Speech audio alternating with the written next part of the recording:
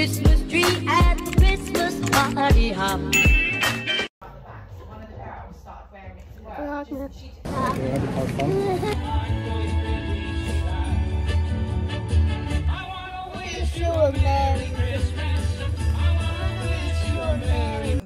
Okay. So, uh, I'm gonna end Vlogmas here, but I'm like really excited because tomorrow's Christmas Eve. Oh my god. But, yeah, two days left of Vlogmas. But, oh my god, I'm so excited for Christmas.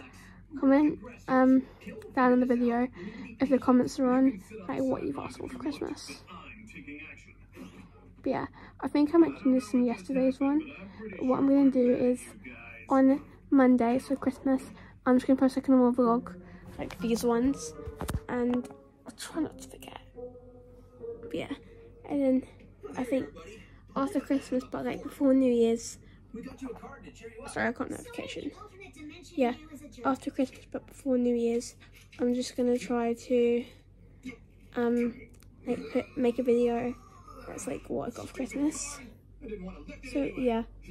Um bye guys.